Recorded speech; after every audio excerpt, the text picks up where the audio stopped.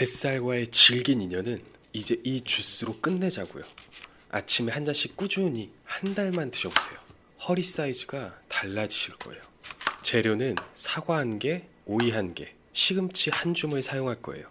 재료만 듣고 오액 하실 수 있는데 기다려보세요.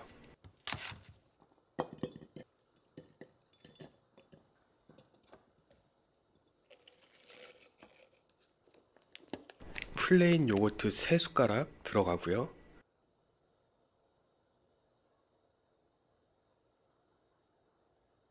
여기에 아몬드 브리즈 100ml 넣어주시고요.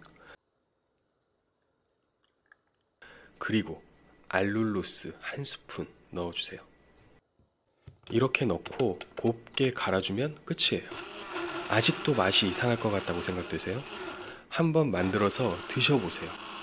저도 만들기 전까진 아, 아무리 몸에 좋아도 이건 좀 아닌 것 같다 싶었는데 먹어보니까 제가 편견이 참 많은 사람이었더라고요.